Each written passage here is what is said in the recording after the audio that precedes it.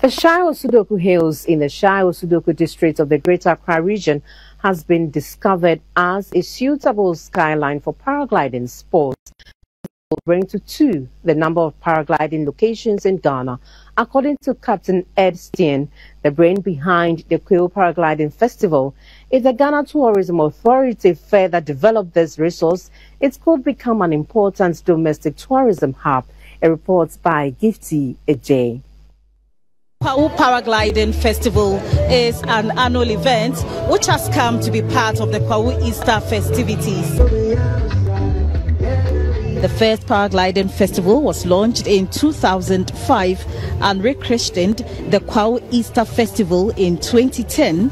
The breathtaking event brings together seasoned and experienced pilots from around the world to fly hundreds of people during the three to four day event at Kwahu Atibie, a small town in the Kwahu South district. The Odweanoma Mountain is located along the Atibie Road.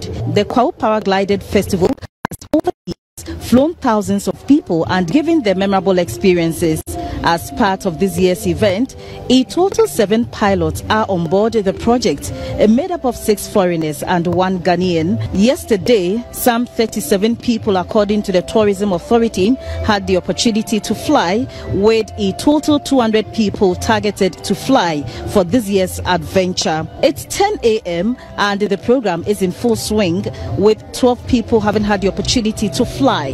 GBC News gets interactive with some of the passengers the brain behind Ghana's paragliding initiative, and an official of the Ghana Tourism Authority. Hi, what's Hi. your name? Uh, this is Salofi. And you? Abdurrahman. Okay, and where are you coming from? Egypt. Egypt. Okay. Egypt. Is Egypt. first time here? Uh, uh, not in Ghana. I've been here for like more than four years, but this is the first paragliding experience here. Yes. Yes. So when? When are you flying? What time?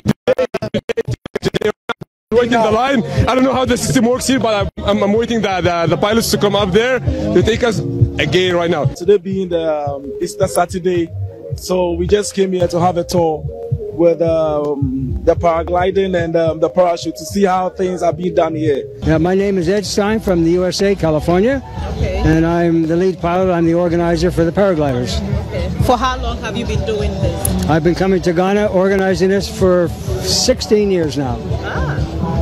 That's impressive. Quite a long time. Yes, it is. And how did the idea grow? The idea came from Jake. Okay. Jake. He's the one that uh, had the idea, and we had a colleague, Walter Nesser, who was a paraglider pilot, and he was working on the towers. And he said, hey, this would be a good place to fly. And sure enough, he was right. He got together with Jake, and the both of them made it uh, happen to fruition. So, what's the ideal weather for paragliding?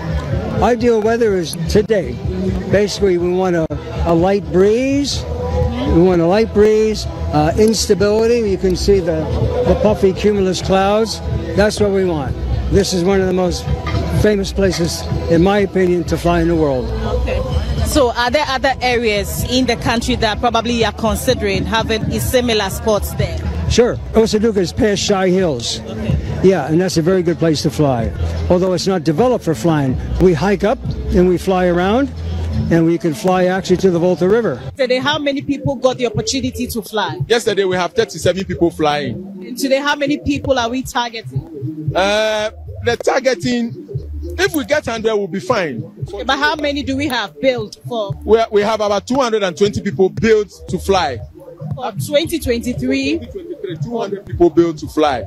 And uh, we are hoping that today we increase the numbers between today and Monday. We'll be able to at least uh, get some quite a reasonable number. Uh, 2019 has been the highest so far for us. We're able to fly 268 passengers. Reported for GBC News, Gifty Adjei, Odweanoma Mountains, Atibie, Kwahu, Eastern Region.